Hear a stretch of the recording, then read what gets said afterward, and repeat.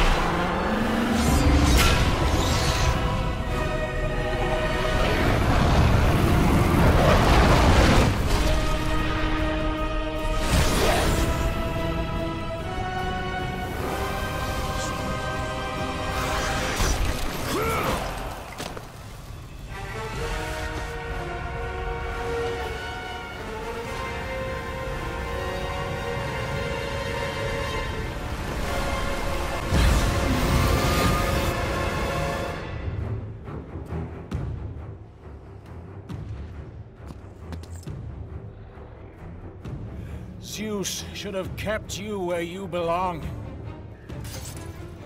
No matter how many gods fall, there will always be another to stand against you. They will fall as well. The death of Olympus means the death of us all. Then prepare for your death, Poseidon.